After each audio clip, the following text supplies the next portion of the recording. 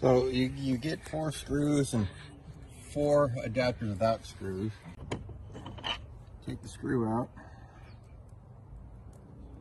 Slide a snap on it.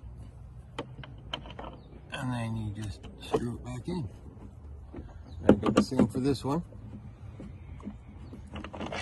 And I hung it up. Short. So I use the adapters with the screws in them.